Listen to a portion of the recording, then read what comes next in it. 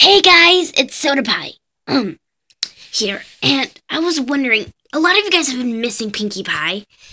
Hey guys, it's Rainbow Blitz. Uh, uh, uh, sorry, my brother just wanted to be on the channel once. Come on, give me one chance to be on the show. I mean, that's so awesome. You were in it yesterday. Yeah, but fine. Ah, uh, yeah. Hey, it's my line, twerp. we get like that all the time.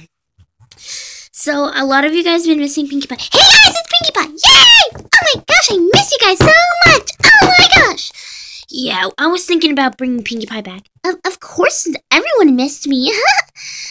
if not, um, I was planning on having Honey Rays or Starlight Glimmer to be a part of my, to be the next, uh, not the next pie, but like to be with me on my channel. But let me know if you guys because I'm to do a channel with my brother. We're both to, he's to be in a few of my videos.